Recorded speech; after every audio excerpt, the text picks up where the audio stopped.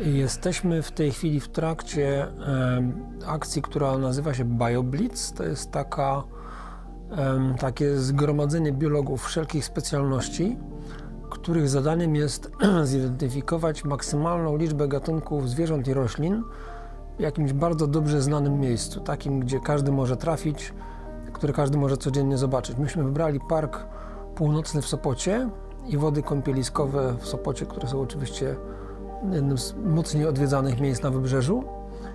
I w tym obszarze w czasie dwóch dni, łącznie z nocą, pracuje kilka zespołów z różnych uczelni, z instytutów badawczych.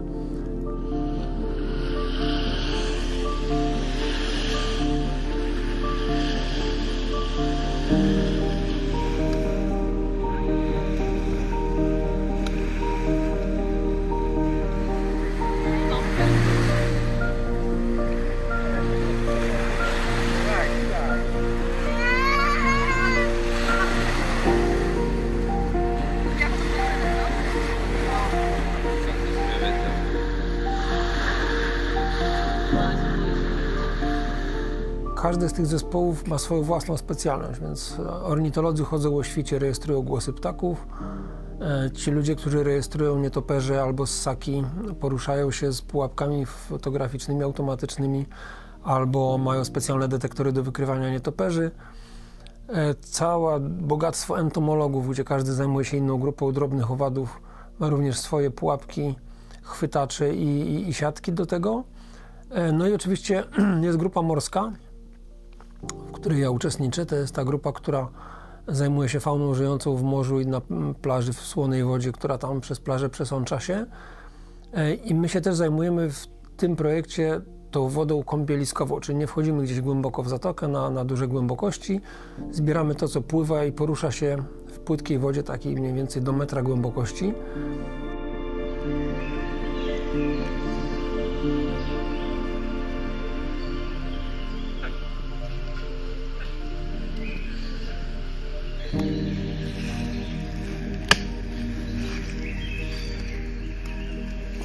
Naszym zadaniem jest ściganie się z maszyną, czyli e, sprawdzamy, czy więcej możemy zidentyfikować zwierząt, które żyją na wydmie, na plaży oraz w morzu przy użyciu nowoczesnych technik związanych z sekwencjonowaniem DNA, czy być może klasyczni biolodzy posługujący się mikroskopami mogą jednak zebrać tych zwierząt więcej.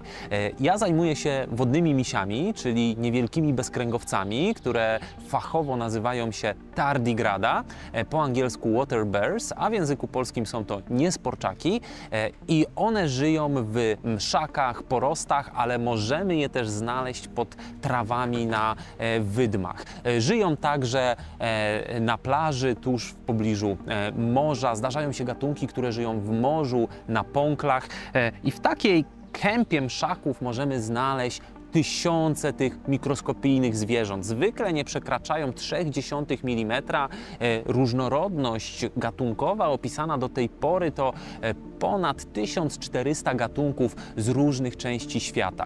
E, Dzisiaj jest wietrznie.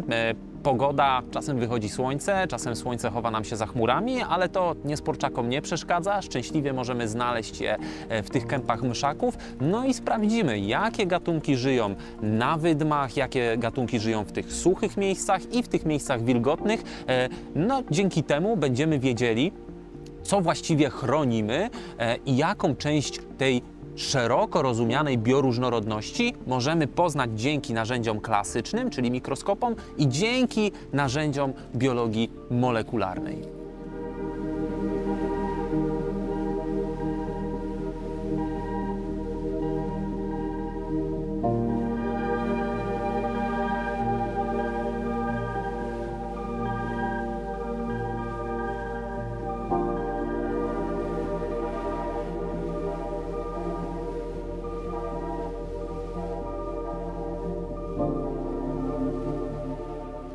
Jedną z najbardziej fascynujących rzeczy jest to, że w tej niewielkiej kępie mchu możemy znaleźć zarówno gatunki, które są drapieżnikami i zjadają inne niesporczaki, czy inne bezkręgowce, be, inne mikroskopijne bezkręgowce, jak chociażby nicienie czy wrotki, e, ale możemy też spotkać niesporczaki, które są chociażby roślinożerne, a także mikrobożerne, takie, które żywią się między innymi e, bakteriami.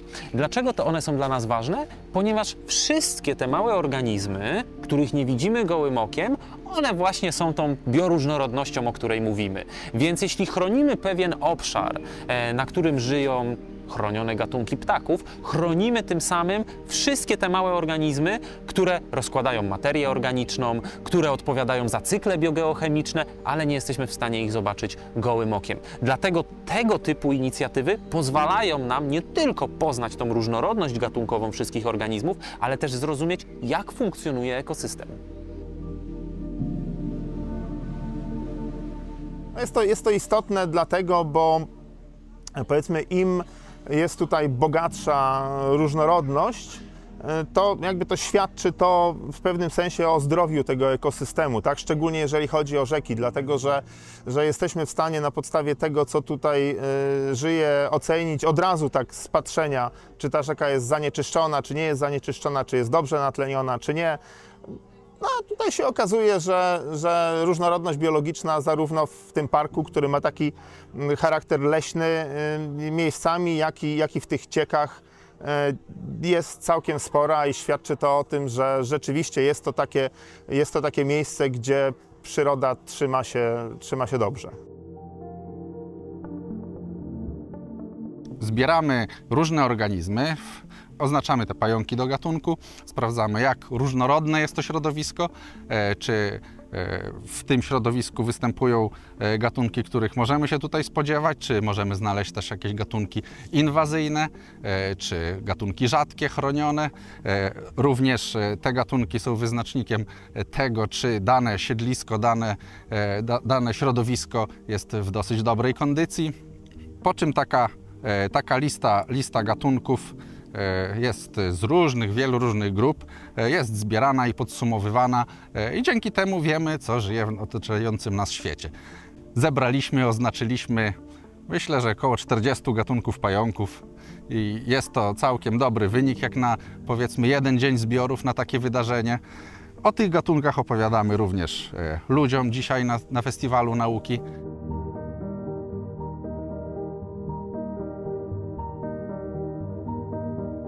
Kolejne wielkie pytanie, które stawiają te programy unijne, w których bierzemy udział, czyli Marbefes oraz BioOcean 5D, to jest pytanie o to, co współczesne państwa europejskie mają robić z bioróżnorodnością, w tym wypadku bioróżnorodnością morza.